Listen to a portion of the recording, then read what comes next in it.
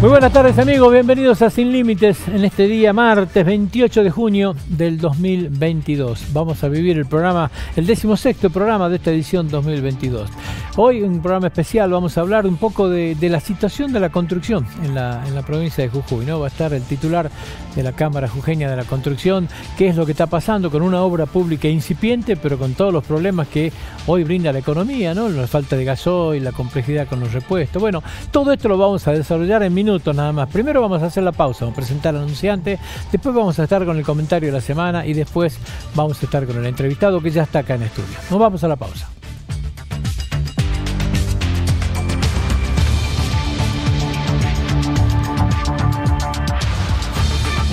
Muy bien amigos, volvemos al aire. Comentario de la semana. Y Alberto Fernández participó de la cumbre del G7 ¿no? en Alemania. Una participación leve, un discurso de, de siete minutos donde habló en la cumbre, habló del tema del conflicto con Ucrania, del conflicto con Rusia, bueno, pidió paz, abogó por, el diálogo, lo normal y lo, estipulado. Este, pero también tuvo su cumbre con, Boris Johnson, donde pudo hablar durante 15 minutos, planteó el tema de, el tema de Malvinas. La respuesta de Boris Johnson fue tan fría como contundente, ¿no? Es un tema terminado hace 40 años que abre muchos interrogantes. Yo lo escuchaba a Nelson Castro hablar de esto. Nelson Castro habla desde la óptica de haber atendido más de 200 combatientes de Malvina como médico y desde la óptica de haber estado reiteradas oportunidades de Malvina y de haber trabajado inclusive en Malvina y explica ahí un poco de, lo imposible que es hoy nada que nosotros pretendamos hacer con, Malvinas, ¿no? ¿Cómo, ¿Cómo, pretender volver a un lugar desde la diplomacia cuando no hay un habitante de Malvinas que quiera la Argentina? Después de la guerra se rompieron todo tipo de vínculos, imposible. Antes había una buena relación con, con la gente de Malvinas, llegaba aerolínea argentina, hoy no tenemos nada en Malvinas absolutamente nada. Lo que hay es un consentimiento unánime de que no nos pueden ni ver a los argentinos. La guerra ha dejado secuelas tremendamente grandes, no solamente en las tropas nuestras, en la gente de Malvinas. Nadie quiere ser argentino. Pregúntele a cualquiera. Entonces, ¿cómo se hace para, para llegar ¿no? a, a pretender esto? Que un gobierno de Inglaterra acceda a esto y que los, después nos acepten la verdad es una cuestión que lo hemos perdido. Hace falta un trabajo cultural y un trabajo muy grande de aceptación de, de siglo, diría, para volver a restablecer un diálogo en esto, ¿no? ¿Cuál será la estrategia para, para realmente querer intentar poner los pies en Malvinas? Pero bueno, la cuestión que Alberto Fernández participó y regresó a la Argentina y encontró lo que había dejado cuando se fue potenciado, ¿no? A ver, eh, políticamente Alberto Fernández cada vez más solo la sensación que da que en los últimos días este, ha quedado más apartado, lamentablemente lo han alejado mucho más, mucho más fuerte, ¿sí? Ministros que manifiestan su voluntad total de irse, ¿no es cierto? Como pasa con Catopodi, como pasa con Zabaleta, que habló de volverse a Hurlingham, o sea, que quieren irse de este gobierno. La Liga de Gobernadores, que en algún momento se especulaba que esta Liga de Gobernadores era la que podía darle una consistencia al Partido Justicialista para, para salir de ese núcleo duro del kirchnerismo. Hoy la Liga de Gobernadores es afín absolutamente Cristina Fernández de Kirchner. De hecho, se reunió en el Chaco con la misma tesitura de plantear el tema con las organizaciones sociales que había planteado este, en la reunión de la CTA Cristina Fernández de Kirchner. O sea, le dio un contenido político inverso, totalmente inverso. Eh, Massa, Massa amenaza de retirarse del gobierno tiene su cumbre partidaria, ¿no es cierto?, ahora el 14 de julio, y es lo que le piden, que saque el cuerpo de ahí, que deje de ser presidente de la Cámara, es lo que piden en su partido. Guzmán y Pese, cada vez más aislados, o sea, los embates hoy del, Instituto Patria hacia el ministro de Economía y hacia el titular del Banco Central son cada vez más fuertes. Para colmo de males, los desaciertos económicos son cada vez más contundentes. Terminan después de, de mucho dar vuelta haciendo lo que de alguna manera pedía Cristina, Sí, cuando habló del festival de importaciones que estaba diciendo. Y bueno, terminó el lunes sacando esta medida, ¿no es cierto?, de, ponerle un cepo más a las importaciones, que lo único que hizo fue agudizar y profundizar el problema que hoy ya tiene la Argentina con el valor del dólar y con la inflación. Eh, cada vez más eh, aislado, decíamos, y más eh, atacado, porque hoy prácticamente hay un Alberto Fernández que se está quedando políticamente solo sea, políticamente muy solo. Encuentra problema con el gasoil. No voy a otra alternativa. El problema, la problemática del gasoil se tenía que haber analizado tres meses o cuatro meses atrás. Hoy no se ha hecho absolutamente nada. Entonces, cualquier cosa que se ponga sobre la mesa son soluciones de larguísimo aliento. Anunciaron IPF que va a traer nueve barcos que van a llegar en 45 días. 45 días, una eternidad, ya está perdida. este, estamos en la última etapa de, de, los granos con la soja. Estamos en plena zafra azucarera. Estamos en plena zafra citrícola hablar de 45 días un productor es hablarle de una eternidad, no existe. No existe este tipo de solución. Habían hablado a través del mismo jefe de gabinete de una solución a 10 o 15 días con la llegada de los primeros tres barcos que se habían comprado. La realidad es que hoy el conflicto de gasoil está en la ruta, para colmo con un muerto. Hoy están pechando para entrar un poco el puente Purredón, tratando de llegar al obelisco. 21 23 provincias son las que están en conflicto, sacando tierra del fuego. Todas han caído en mayor o menor medida en inconveniente. Ni que hablar del norte de la República Argentina, una de las más perjudicadas. Estamos lejos de cualquier, de cualquier solución. Eh, hoy sale el ministro Guzmán a buscar pesos Hoy va a haber una licitación, ¿no es cierto?, donde sale a, buscar pesos. Necesita 240 mil millones de pesos. El vencimiento era de, de 590 mil. La semana pasada hubo un canje absolutamente forzado, porque el que lo compró a esto fue el Banco Central de la República Argentina. Fue un, canje, un canje totalmente forzado, pero hoy necesita 240 y hay muchas dudas si el mercado le va a decir sí a volver a colocar bonos en esto. Los bonos en pesos de la República Argentina parecen de, un país que está en default de la forma que han caído. Y la realidad es que ha reestructurado su deuda con los privados hace muy poquito tiempo, no ha servido de nada. Hoy el valor de estos bonos, reitero, son de un país en default. Ha encontrado una situación financiera totalmente desbordada, ¿no es cierto? Un riesgo país de, de más de 4.300 puntos. ¿Sabe qué significa? Una, eh, perdón, de 2.300 puntos, 2.400 puntos. Esto quiere decir que para poder sacar un crédito en dólares tenemos que pagar un 24% más sobre la tasa de Estados Unidos. Hoy, con un riesgo país de 2.400 puntos, tenemos que pagar 27% en dólar. Esto y decir que no tenemos acceso a los mercados de capitales es exactamente lo mismo. Entonces, tenés limitado el acceso a los pesos, tenés limitado el acceso a los capitales. La mayoría de las colocaciones últimas que ha hecho las ha hecho con actualizaciones del SER, o sea que lejos está de ganarle con la inflación algo. Bueno, evidentemente que hoy este, es un cuello de botella demasiado importante el que se, el que se ha producido, ¿sí? Demasiado importante. El mercado puede darle la espalda hoy y esto puede ser muy, este, muy complicado. El dólar ha marcado récord. Hoy estaba en 2.38 cerrando de esto. La caída de los bonos SER también han marcado récord. Si bien es cierto, se han recuperado un poquito ayer, pero venían de 8 jornadas seguidas de caída. O sea, la gente no los quiere, se saca de encima, no quiere pesos, esto es lo que está pasando. Y se va donde hay refugio, se va al dólar, se va a consumo, claro, por eso no se siente tanto en el consumo. Pero si usted no mejora la oferta y hay mucha demanda porque la gente se saca los pesos, eso es sinónimo de inflación, salvo para, el Instituto Patria que tiene otro, otro criterio de qué es la inflación, este, para cualquier economista que hable de este tema se va a dar cuenta que esto es así. Este, es difícil la situación financiera que encuentra hoy en su retorno, creo que es harto complicada, digamos. ¿sí? El Fondo Monetario Internacional aprobó el primer trimestre desembolsó los primeros 4.100 millones de dólares que vienen a levantar un poquitito la reserva, porque ahora en julio nomás ya hay que pagar los 2.790 primero y hasta septiembre se van. El, el Fondo Monetario presta para que usted tenga el repago el próximo trimestre. Pero ahora pasado mañana cierra el segundo trimestre. Y por más que haya eh, mucha bondad por parte del fondo, ya hay advertencias claras de esto. Va a haber que hacer un ajuste. Entonces llega un segundo semestre que se va a iniciar en tres días nada más, con muchas complicaciones. Porque en el segundo, en el primer trimestre del segundo semestre, ahora dentro de poquito que arranca, que va a tener que ser auditado por el fondo, ya hay advertencia de que hay que bajar el gasto público, ya hay advertencia de que hay que bajar las transferencias a las provincias, ya hay provincias que le han marcado, la Liga de Gobernadores le dijo que estas cosas no se van a aceptar. O sea, hay que limitar o limitar, no queda otra, no se puede seguir, ¿no es cierto?, este, emitiendo. Ya hay este, advertencia de hay que bajar el tema obra pública, que es el 2% del PBI, bueno, va a haber obras públicas que no van a arrancar. A veces no se baja diciendo no se la va a hacer. Simplemente se hace lo que se está haciendo ahora. A ver, la ruta 34 y no avanza ni para un lado ni para el otro. O sea, a veces no hace falta anunciar, uno ve lo que está pasando, no avanza. no se adjudican, alguna obra tan adjudicada y no se da el inicio jamás. Bueno, esto es lo que está pasando, digamos, y es lo que va a pasar en el tercer trimestre, que está muy complicado. Para colmo de males, se termina la cosecha gruesa deja de entrar los dólares del campo. Este semestre que pasó entraron dólares en manera récord. Lo que pasa es que también crecieron las importaciones en forma récord. ¿Y por qué crecieron las importaciones? Y creció por el tema que es lo que le dice la UIA. No somos nosotros los que traemos bien en las importaciones. El problema son los pagos de la energía. Dos mil millones de dólares se fueron el mes de junio para importar gas. Este es el problema. El problema no es la producción, la producción tiene un ritmo absolutamente normal, no hay ningún desvarío en este tema.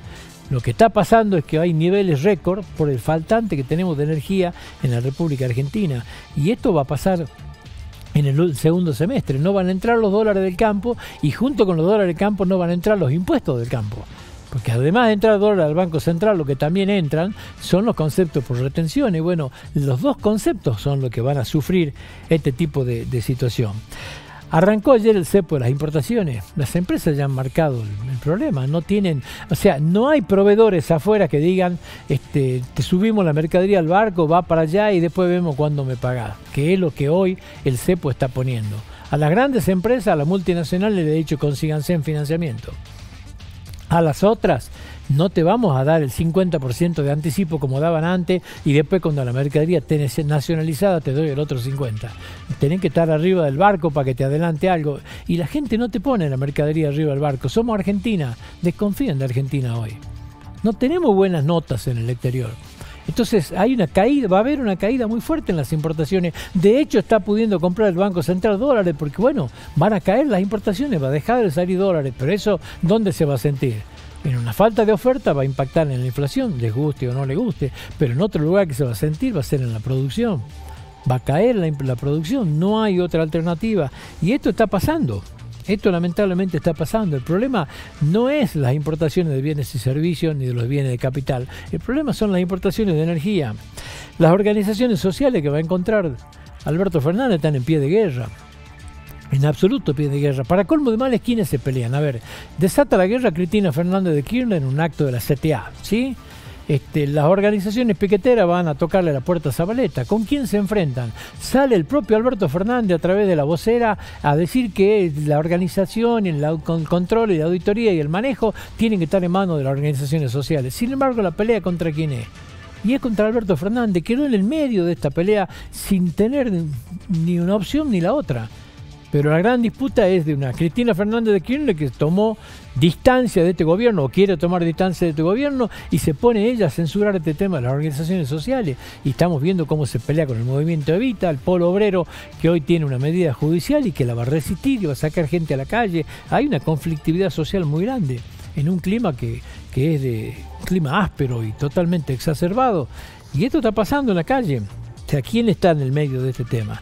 El polo obrero, reitero, eh, Cristina supo captar una bronca en la gente que es total, ¿sí? Porque ya lo que sucedía con el tema de los cortes en la provincia de Buenos Aires todos los días era inaceptable. O sea, el crecimiento de estos movimientos piqueteros, verdaderos movimientos extersionadores, que nosotros lo, hemos visto en la Argentina, en Jujuy, muy bien visto, sabemos de qué estamos hablando y de qué se trata. Bueno, alguien tenía que ponerle el, cepo, acá sí que hacía falta un cepo. Bueno, Cristina con alguna inteligencia política salió ella a hacerse cargo y copó la escena en este tema. Pero es un conflicto donde se sigue dando la interna entre ellos mismos. Acá hay una interna partidaria que tiene el gobierno paralizado totalmente paralizado. Las peleas entre Cristina y Alberto hacen que todas las dirigencias para abajo también estén peleados. La segunda y tercera línea tienen paralizado el país. No sale nada, no se mueve un expediente, no se autoriza nada. Hasta para un gasoducto no tenemos capacidad de hacerlo. Ahí estamos dando vuelta. Claro, si usted tiene en la Secretaría de Energía todos peleados. Es difícil. Volvió Alberto y encontró el tema del Boeing 747, que hoy a esta altura del partido es un papelón. Es un verdadero papelón demuestra que nuestro servicio de, inteligencia realmente de lo que tienen, lo, menos que tienen es inteligencia. O sea, sinceramente, la forma que quedó parado Agustín Rossi después de esto. Este, Aníbal Fernández, bueno, ya no hace, no se puede este, quemar más, digamos, pero la forma que quedó parado Aníbal, este, Agustín Rossi con este tema de, de ser instructores, sinceramente, lo del Boeing 747 va a quedar en la historia en este tema. Pero este es el país que encuentra Alberto Fernández al volver. El vacío de poder, la soledad del poder que hoy tiene Alberto Fernández. Todos nos preguntamos, ¿y cómo sigue? hasta en la jerga hablan todo, ¿no? Los, caballeros de la mesa ratona les llaman a los pocos dirigentes que hoy son este que rodean a Alberto Fernández y son los verdaderos este eh, los verdaderos leales a lo que está pasando hoy. Ahora, ¿cómo continúa esto? ¿Cómo se gobierna de esta manera? Bueno, una pregunta que no, no tiene respuesta, la verdad. Fue noticia la semana la, la, la reunión que tuvo Cristina Fernández de Kirchner con Carlos Melconian donde, a ver, se dijeron de todo en este tema, ¿no? Se habló, se habló mucho, hubo críticas a Melconian. Ahora, ¿qué tiene de malo esto? O sea, esto es lo que tendría que ser en un país normal. O sea, que Cristina Fernández de Kirchner, que tiene tanta injerencia, se tenía que reunir con el presidente, por supuesto, pero todos sabemos acá que la que está manejando el tema, la que ejerce el poder, es Cristina. Bueno, se reúne Melconian con Cristina, pero tendría que ser lo normal escuchar a los sectores opositores, a los que tienen una campana distinta, a ver si vengo haciendo esto y vengo fracasando y vengo chocando, ¿cuál es la lógica? A ver, veamos cómo hacemos para cambiar. Como decía, es de, es de loco creer que haciendo lo mismo tener resultados distintos y en Argentina venimos haciendo lo mismo hace mucho tiempo. Entonces es hasta lógico que lo escucha Melconian. No sé por qué. Si nosotros queremos tener un plan para atacar la inflación, un plan en serio, necesitamos de un gran acuerdo nacional. Es imposible tener un plan para atacar la inflación, porque atacar la inflación tiene sí o sí exigencia fuerte. Hay que hacer un ajuste, hay que bajar el gasto público. Para hacer esto tienen que tener eh, una consolidación política importante. Este gobierno no puede hacer nada de eso. Necesita sí o sí un acuerdo de las principales fuerzas políticas. Decir, bueno, esta es una política de Estado, esto es lo que tenemos que hacer con un plano y un objetivo de tres años donde no podemos mezclar y atacar violentamente estos temas porque son políticas que necesitamos. Tiene que haber un gran acuerdo. Por eso no me parece loco que lo escuche a Melconian. Ahora, sí creo que tengo claro que lo va a escuchar y no sé qué caso le hará porque no debe haber nada de lo que le dijo Carlos Melconian puede haberle gustado. O tal vez sí. Pero en la Argentina lo que hace falta es que nos empecemos a escuchar. Me parece que esto es fundamental, o sea, y a trabajar en conjunto. Pero bueno, Dios quiere que sea un inicio de algo, no creo. Transporte. El transporte, la FATAP, hoy hay un comunicado dando vuelta por los medios que habla de que a partir de las 10 de la noche de hoy hasta las 6 de la mañana no va a haber, van a empezar a limitar el, este, el recorrido nocturno por los problemas que hay. Esa, esa medida de, de pocas horas mm, que tal vez no se tomen en Jujuy o no, hay que, hay que estar a la expectativa. La realidad que tiene un aviso que es un aviso contundente, lo que la Fatal le está diciendo es lo que nosotros firmamos estaba supeditado a la llegada de los fondos.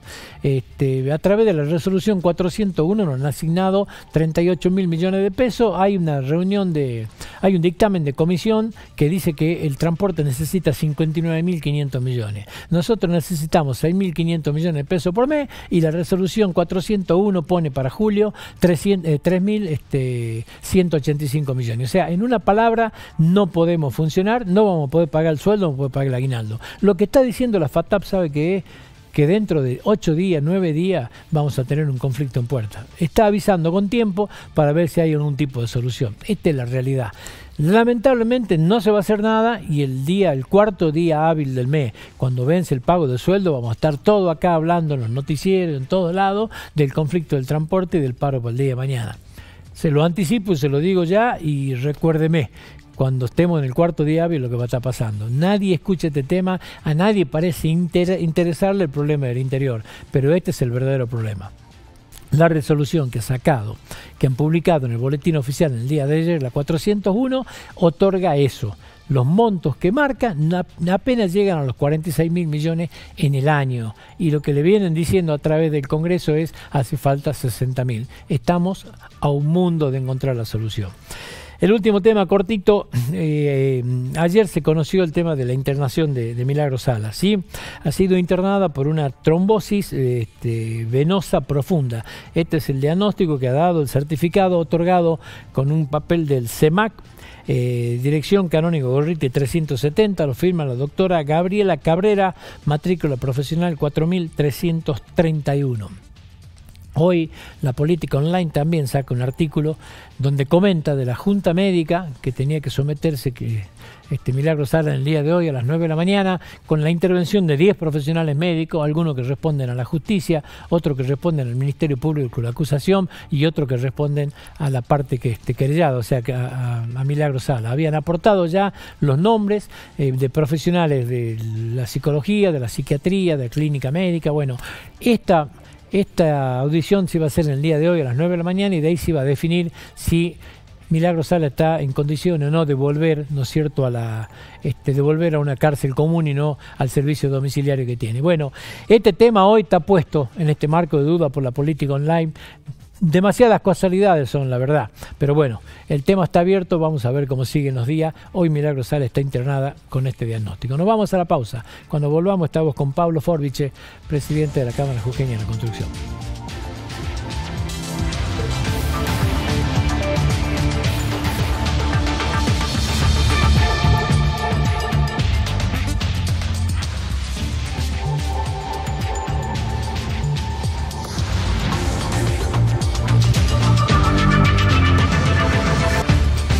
Bien amigos, volvemos al aire, último bloque del programa. Estamos en este bloque acompañado por Pablo Forbiche, presidente de la Cámara Jujeña de la Construcción. Pablo, gracias por venir. No, gracias por la invitación, Alberto.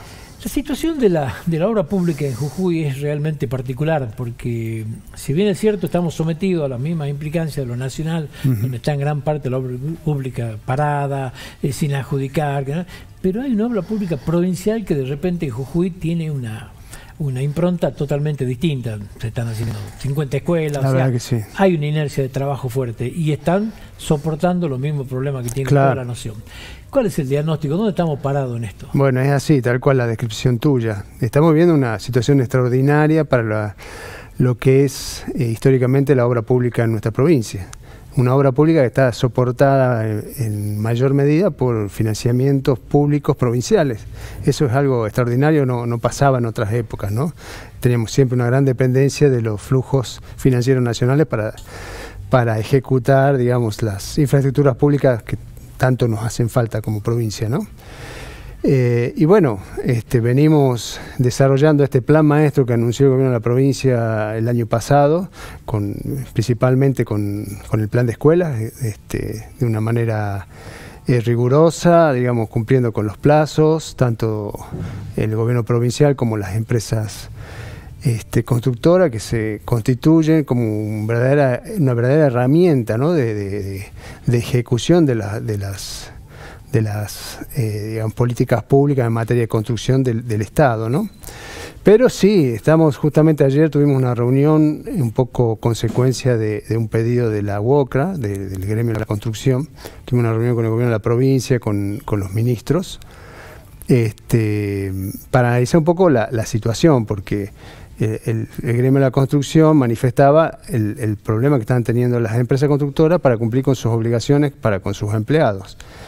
Y realmente es, cierto, digamos, este, eh, y, tiene que ver con lo que vos decís, el impacto de la macro, ¿no? el, impacto inflacionario, eh, se ha duplicado la inflación del año pasado. Nosotros el año pasado teníamos indicadores mensuales de 2, 3 puntos y estamos en 5, 6. Es el doble, ¿viste? Este, entonces, bueno, este, por más que el, gobierno está cumpliendo con, con los pagos, eh, no alcanza. Esa es la verdad. Porque si bien mucha o la mayoría de las obras públicas tienen un sistema de redeterminación de precios que buscan justamente recomponer el valor del contrato, llegan tarde. Este, ¿Por qué? Porque se, las redeterminaciones de precios se alimentan de indicadores que emite el INDEC, que como vos sabés muy bien, salen dos, un par de meses después de que se produce el hecho se certifica un mes después y lo cobras 45 días, o sea, a los 120, 150 días vos estás cobrando lo que tenés que haber cobrado en otro momento. Con 5 puntos de inflación mensual eso es insostenible, afecta al costo, ¿no? ni siquiera la rentabilidad. Y lo estamos sintiendo, lamentablemente lo están sintiendo este, el obrero de la construcción porque hay eh, por ahí algún atraso en el pago de las quincenas. Y bueno, es, es una problemática que, pensamos que era bueno, digamos, compartirla con el gobierno de la provincia y buscar este, alguna, alguna solución ¿no? local, porque lógicamente el gobierno provincial no tiene herramientas para modificar la, inflación y el problema del gasón y el problema de desabastecimiento de algunos insumos, pero por ahí podríamos pensar en algunas alternativas para paliar un poco la, situación que estamos viviendo. Las empresas de Jujuy, ¿es cierto que están al tope, digamos, de trabajo con este tema, sobre todo con la obra de las escuelas, que creo que es lo más fuerte, ¿no? ¿Están en, en alguna ocupación plena, podemos decir? Estamos trabajando, eh, digamos, con toda nuestra capacidad, pero, pero damos para más, ¿no cierto? Y me parece que, es interesante el planteo porque, digamos, me parece que, el sector de, la construcción, del empresario de la construcción, es un sector importante. Me parece que estaría bueno como política de Estado buscar el crecimiento del sector, ¿no? El crecimiento en todo sentido, este, patrimonialmente, digamos, sino con este concepto que te digo, me parece que realmente el sector de la construcción debe ser y es la herramienta del Estado para construir sus políticas de construcción, ¿no es cierto? Y, me parece que, es importante tener un sector fuerte, que dé respuesta, que se capacite, que se modernice. Me parece que, que más allá de la situación de la que arrancamos, porque no nos olvidemos que nosotros arrancamos de 2018, 2019 con cero inversión en obra pública por parte del Gobierno Nacional, y digamos, estando, estamos dando respuesta a este desafío del gobierno provincial con todo éxito y con toda responsabilidad. ¿Qué te quiero decir con esto? Que me parece que es importante correr los umbrales ¿no es cierto?, correr las varas y tratar de, que el sector de la construcción cada vez sea mejor, ¿no es cierto? Me parece que tendría que ser una política de Estado, me parece que estaría bueno eso. A ver si, si estoy entendiendo un poco el concepto y te voy a decir algo que tal vez se está haciendo y lo digo desde el desconocimiento, ¿no?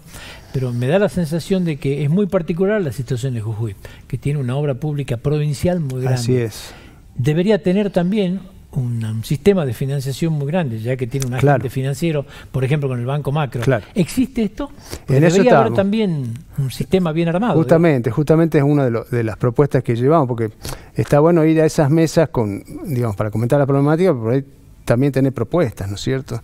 Y una de ellas es esto, ¿no es cierto? Tratar de buscar, porque ¿qué pasa? Este, este escenario que te comento, que nosotros y digamos hacemos el gasto hoy y lo recuperamos de acá 4 o 5, eso se financia, digamos, este, al 90, 100% anual, ¿viste? En, el, en el, digamos, el mercado financiero normal. Si tenemos alguna ayuda en ese sentido, claro. Ah. Eh, lo hemos planteado, hemos pedido, hemos presentado por nota una reunión al, al, ministro de la Producción para, para hablar de líneas de crédito y de apoyo específicas para nuestro sector, porque Ministerio de la Producción, el, Consejo de la Microempresa tiene líneas crediticias, pero por ahí para otros sectores. Por ahí estaría bueno sentar en una mesa y analizar específicamente nuestro sector. Claro, porque vos tenés certificado de, la provincia. La provincia es tu, tu contratante y a su vez el agente financiero, el macro. Claro. Tiene que sentarse los tres, me parece. Así es. Por ahí incluso pasa que vienen este, obras de, nación, ¿no es cierto? Eh, viene plata de nación vienen sin anticipos, vienen con malas redeterminaciones.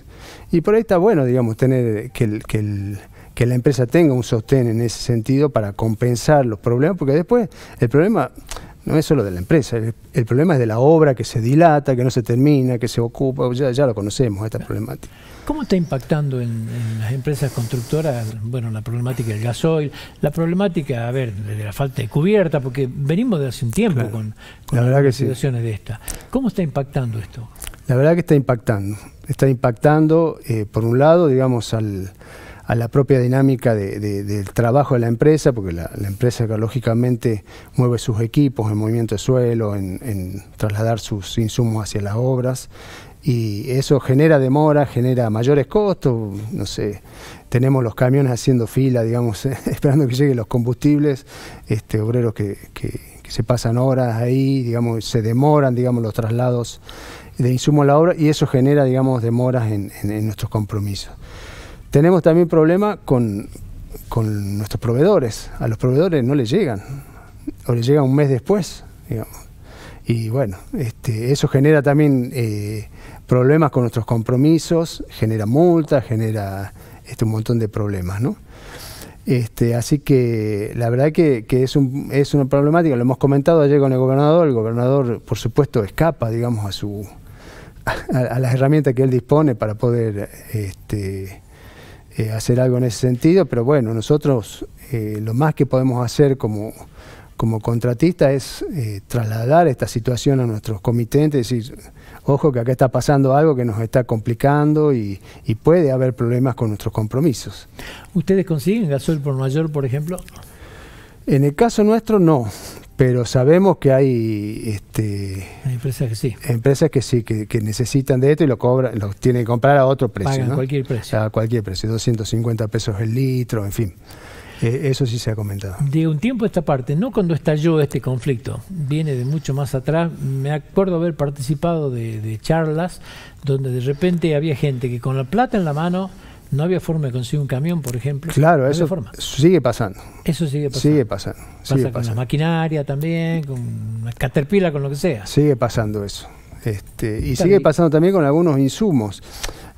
La verdad es que, que en, el país eh, la construcción está evolucionando y está creciendo. Hay, hay hay obra pública, obra privada, sobre todo obra privada en el resto del país que, que está generando algún que problema. Pasa que la gente no quiere tener ni un peso en claro, la mano. Entonces, sí, che, claro, invierto y eso permite que haya esa obra pública privada. Sí, sí, hay, hay obra pública eh, eh, privada, hay obra privada. A ver, hay provincias como la nuestra que tienen una mayor incidencia de la, de la pública sobre la privada, ¿no? un 70-30. En, en los grandes centros y al revés, es más la privada que la pública.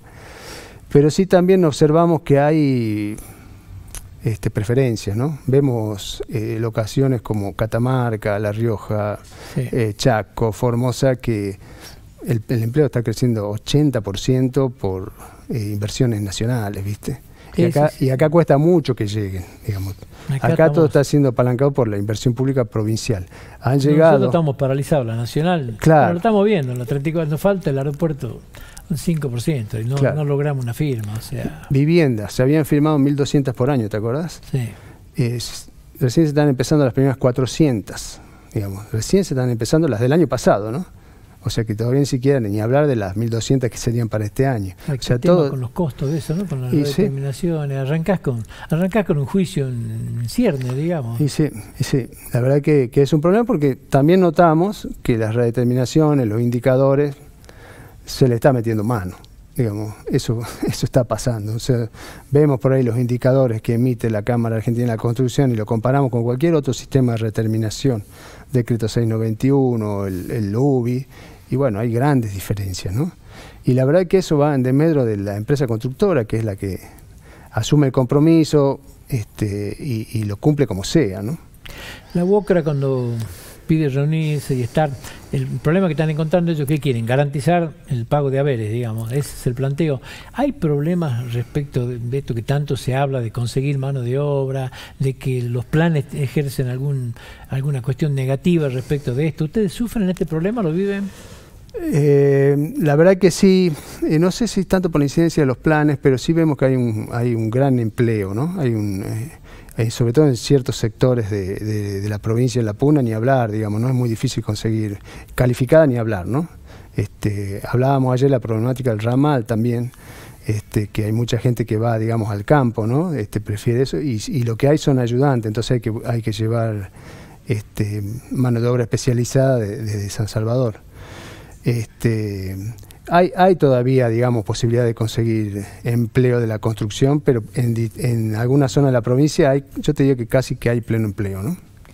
Claro, la Puna, lógicamente, con las obras de, la, minería, están a, Sí, sí, yo decía, la puna pobre hoy ha pasado a ser la puna rica. Sí, sí, si uno se pone a ver, hay más de mil millones de dólares de inversiones que han entrado en el último tiempo. No sé, ya estamos en dos mil millones de dólares. Claro. O sea, realmente es Cuesta, cuesta creer el número y están gente que antes se venía acá a buscar un plan y a vivir en Alto Comedero, hoy están volviendo muchos. La verdad que se ve eso, nosotros nos toca hacer escuelas en La Puna y vemos eso, que en las escuelas los chicos están volviendo, digamos, a los pueblos, ¿viste? La verdad que es un fenómeno social muy interesante que estaría bueno, digamos, que algún especialista lo analice, porque lógicamente, digamos, la gente vuelve a donde hay trabajo, ¿no es cierto? Y la verdad que eso está generando una dinámica social eh, bastante interesante, que estaría bueno analizarla. ¿Qué otros temas se plantearon en la reunión? Bueno, principalmente esto, eh, el gran problema que estamos teniendo con, las variables de la macroeconomía, hemos planteado, digamos, agilizar, digamos, lo posible los trámites administrativos para los pagos, porque bueno, el tiempo es dinero, ¿no? En, este contexto. Eh, algunas cuestiones que tienen que ver con, ya son más técnicas, ¿no? de, anticipar las redeterminaciones definitivas de los precios, que por ahí generan alguna diferencia que se cobra al final de la obra, tratar de anticiparla para menguar un poco este impacto y que realmente toda la energía esté puesta, digamos, en la terminación de las obras eh, lo antes posible. Eh, y bueno, y después es esto que te comentaba, ¿no? Tratar de generar otro espacio de, conversación en el ámbito del Ministerio de la Producción para generar este, algunas eh, alternativas que, que la empresa constructora pueda tener a mano para de alguna manera compensar estos problemas que estamos viviendo. Hemos tenido anuncios en las últimas en los últimos días, desde un polideportivo, la, ciudad judicial, o sea, hay otras obras, no solamente el tema de, la, de las escuelas. ¿Las empresas jujeñas han podido competir en esto? ¿Cómo, cómo han estado? Y hay de todo un poco. Eh, en, obras como el estadio, eh, digamos, eh, fue más para empresas de, que tengan ese know-how, ¿no es cierto? Este, que por ahí estaría bueno, digamos, en las próximas licitación en ese sentido, tratar de ver de que haya alguna incorporación para que de la empresa jujeña, ¿no? De alguna manera, este, aunque sea parcialmente en algún, a través de alguna UTE con estas con estas empresas que tienen todo ese conocimiento para que no solo quede la obra, sino el conocimiento. ¿no? Estaría bueno generar algún tipo de estrategia en ese sentido para, para ganar más de lo que estamos ganando. La obra pública tiene eso, ¿no? que es, tiene mucho mucho derrame en un montón de otras cosas. O sea, ni hablar del, aspecto de la actividad económica, que lo hemos hablado muchas veces, cada peso que se, invierte en obra pública vuelve hasta dos veces y medio en actividad económica. Este, ni hablar con la capacitación, digamos, y, si pudiéramos fortalecer el, el, empresariado jujeño, incluso para exportar, digamos, esta, nuestra actividad hacia, hacia otras provincias, no como por ahí nos pasa que traemos empresas de afuera hacia la nuestra, es mucho mayor sería el beneficio. ¿no? Y alguna vez se llegó a ser un clúster de proveedores mineros, de salir a vender vos servicios mineros. La minería ha generado una dinámica muy grande en esto, porque ha hecho, ha permitido empresarios de la construcción muy fuerte. El derrame de la minería ha hecho que tengamos empresarios hoy que pueden competir en cualquier lado. De repente aparecen empresarios jujeños construyendo un aeropuerto, digamos. Claro, claro. La verdad que sí. Este, la verdad que nosotros, mira, justamente este año nosotros, la Cámara Jujeña cumple 50 años. Y es un momento en que nosotros nos, replanteamos todas estas cosas, ¿no? ¿Para qué estamos? ¿A dónde queremos ir? Y la verdad que, que la respuesta es trabajar juntos, ¿no? Unirnos, digamos, unirnos como sector, digamos, como este, para dar respuesta hacia adentro y hacia afuera. Me parece que, que, ahí está la clave, ¿no? Empezar a trabajar un poquito más en equipo y juntar fuerza, juntar experiencia, juntar este, talentos, ¿no es cierto?, para el, para el bien común. Me parece que por ahí pasa la respuesta. Muchas obras se hicieron a través de UTE, ¿no? Porque antes no teníamos la capacidad para... de una bronca, me acuerdo cuando nos sacaron de, la 34, que no, no permitieron a las empresas jujeñas, este, y hoy creo que tenemos, nos sobra capacidad en varias empresas para estar en cualquier obra de esa naturaleza. Seguro, y la 34 la estamos ejecutando en empresas jujeñas. Este, claro, después nos la gana, la, lo, hemos hablado con el, tema del aeropuerto, pasó lo mismo, digamos, esa, ese es un problema, digamos, que no nunca terminamos de resolver. Este, y porque bueno, se resuelven estas obras, digamos, en Buenos Aires, ¿no? Este, pero bueno, me parece que eso... De una manera muy poco, muy poco ortodoxa a veces, pero que bueno, no le vamos a poner... La verdad que no. no le vamos a poner otro, otro objetivo, digamos. Claro. Eh, ¿Qué expresó el gobernador respecto de la continuidad de esta? Porque todos los días es como que se empieza nueva, pero hoy me parece que tu objetivo está más en terminar la que están, ¿no? Sí, pero hay licitaciones, hay nuevas escuelas que salen a licitación eh, en los próximos días. Hay, hay algunas que se han anunciado con fondos nacionales, pero el plan Promase tiene 10, 11 escuelas que van a salir en los próximos días y después viene otra, otra etapa también importante de refacción de escuelas existentes, ¿no? que también es muy desafiante porque eh, es hasta más complicado, ¿no? Entrar a, resolver sobre estructuras edilicias viejas, digamos, la, todo, toda la modernización, la, nueva, digamos, puesta a punto a, a las nuevas requerimientos. ¿no? Lo importante es que las obras están avanzando, ¿no? Me decían, por ejemplo, el la obra hospital, avanzando. El Hospital de Libertador está arriba de un 60% de obra, digamos. Sí, sí, se comentó el, el hospital, la cárcel de Chalicán, se, se, se, comentó sobre el estado de satisfactorio de, de, de ejecución de las obras. Este, así que el plan está y está funcionando, está funcionando adecuadamente de lo financiero, las empresas jujeñas están dando respuesta. Eh, a veces se pone en duda eso, pero me parece que, claro. que es una oportunidad, digamos, para decir que estamos a la altura de las circunstancias, ¿no? Y que vamos por más, ¿no es cierto? Me parece que es lo que te digo, me parece que, que tenemos que hacer una alianza estratégica con los poderes eh, públicos para crecer, ¿no? en el caso nuestro, en la construcción, pero me parece que, que, un empresario fuerte en general, digamos, este, me parece que tendría que ser un objetivo de, de política de Estado a largo plazo, ¿no? Hay que tener un, un llamaban una burguesía fuerte, digamos, claro. hay que tener empresarios fuertes, cosa que cuando por ahí necesitas cosas, como nos han pasado los jujeños, ¿no? Ingenio La Esperanza. Claro. Tendría que estar en manos de, de Tuvimos que ir a buscarlo afuera. Claro, tenía que estar en manos de empresarios jujeños. Para Sí, eso sí. necesita una burguesía fuerte, digamos, necesita empresario fuerte, con, con patrimonio, con, con, capacidad como para ir. Y después apalancado por, nosotros tenemos un banco, el Banco Macro es el agente financiero de la provincia. Claro. Tendría que ser el que apalanque esto, o sea, yo soy el empresario que tiene patrimonio para responder, vos sos el banco que tenés el capital para prestarme, juntos hagamos esto, o sea, esto tendría que ser la dinámica normal. Y sí, y sí, yo creo que sí. En el caso nuestro, en la empresa constructora, bueno, ya lo hemos comentado, pero eh, damos trabajo, ¿viste? O sea, eh, por ahí vienen empresas de afuera, pero bueno, tienen sus equipos técnicos afuera, su, su, sus impuestos se pagan afuera. Bueno, ya lo hemos hablado muchas veces cuál es la, el impacto que tiene eh, el realmente contratar empresas jujeñas, ¿no? Coincidimos en este objetivo con la Boca, ellos tienen la misma mirada porque ellos este, nos conocen, digamos. Claro. La empresa jujeña, Jujuy es chico, nos conocemos todos y, y bueno, sabemos quién es quién, y, digamos, este, la, la UOCRA también, digamos, prefiere muchas veces que, que sea adjudicataria una empresa local que una empresa extranjera, ¿no? Porque ha tenido muchos problemas este, en muchos sentidos. Eh. Pocos conflictos con las empresas locales, ¿no? No, no, pocos, pocos, pocos. No se ve, digamos. Sí, sí, sí. Y esas cosas saltan enseguida, ¿no? La verdad que sí. 50 años. 50 años de la Cámara. ¿Cuándo? Y se cumplieron en abril, este, los, lo hemos conmemorado, digamos, un poco internamente con un espacio de reflexión. Eh, la verdad que en 50 años, otra era la Cámara, ¿no? Otra era la sociedad, otra era la situación, digamos, en la provincia hace 50 años. Hoy, digamos, todo como que se ha agrandado demasiado, ¿cierto? y los desafíos son mucho más grandes.